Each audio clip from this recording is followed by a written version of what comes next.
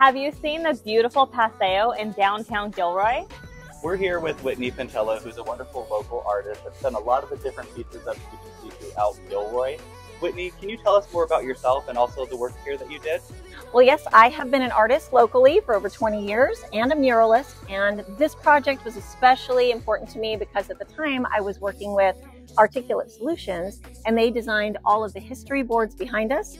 And one of their graphic designers and fine artists, Suhita Shirodkar, was the designer of this mural. I was lucky enough to be able to paint it, so it was a really special time to watch them put this whole project together, especially now that it's become really a gem downtown. Absolutely. I think it's brought a lot to the downtown area. And if you guys want to check it out, it's between 5th and 6th Street in downtown Gilroy.